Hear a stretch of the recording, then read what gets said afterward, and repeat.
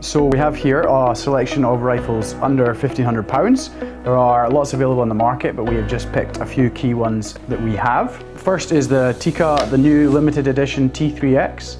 It comes obviously with uh, green stock. It has um, a Cerakoted barrel, uh, a larger bolt knob, which I think you should be able to see there, um, which is just easier to find. Pretty much stalwarts in the rifle industry, Tikka. Um, and just a, a, really nice feeling rifle. They've also made these stock, they've filled them with foam, so they're not, um, some people in the previous models said it was a bit hollow, but um, really nice solid rifle um, and one of, one of our most popular. Moving down slightly in price, near the £1,400 mark is the Sauer S100. Sauer quality, quality rifle brand. It also has a Cerakoted barrel. These are cold hammer forged. A really nice stock as well. It's got a, a good kind of sleek feel to it. And their bolt action is actually lovely on these.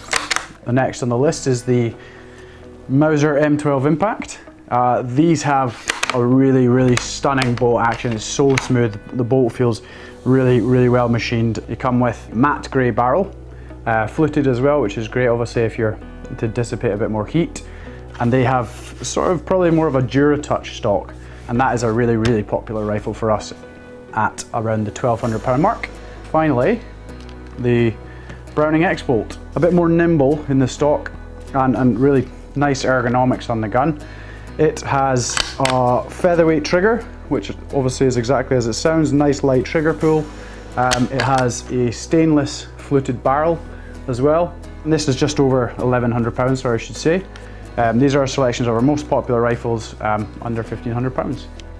Desert Island rifle. Come on, which would your dad choose and which one would you choose? It would have to be the M12. Um, that bolt action is just hard to beat. It's, it's as, as easy as I'm making it look, hopefully. Um, a lot of a lot of gun for the money. I think it would be the Mauser M12.